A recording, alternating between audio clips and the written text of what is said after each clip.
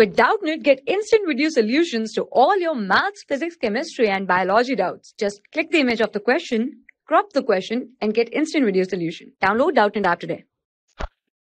Hello, we are given as a question, and the question says that a circular coil having n turns is made from a wire of length L meters.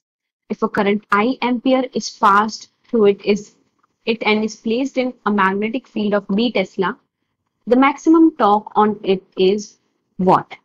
Right? Since as we know, torque is given as magnetic moment cross magnetic field, right? The cross product of moment and the field, right? So what we can say from here is that tau, the magnitude of tau would be equal to mb sine theta, right? And from here, tau maximum would be equal to mb when sine theta is equal to 1, when theta is 90 degree, when they are perpendicular, right? So what we can say is that since m magnetic moment is represented as number of turns into the current into the area, right? If we have n turns and the wire is L meter, current I ampere, right? So area, what would be the area? It is a loop, right? So we can write this to be N I pi r square.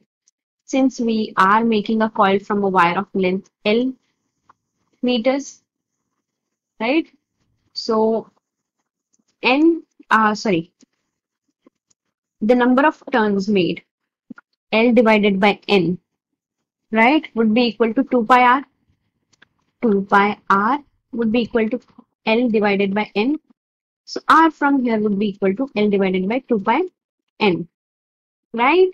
So M can be written as N I pi R square, right? So L square by 4 pi square N square. So N, 1 N gets cancelled, pi, 1 pi gets cancelled. So we have I L square by 4 pi N, right? Since tau max is equal to m into b, right?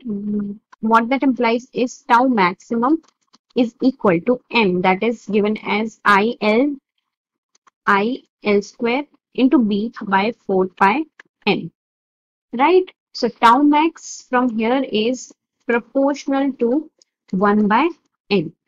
So it is inversely proportional to n. So that is option B is our answer. Thank you. For class 6 to 12, IIT JEE and NEET level. Trusted by more than 5 crore students. Download Doubtnut app today.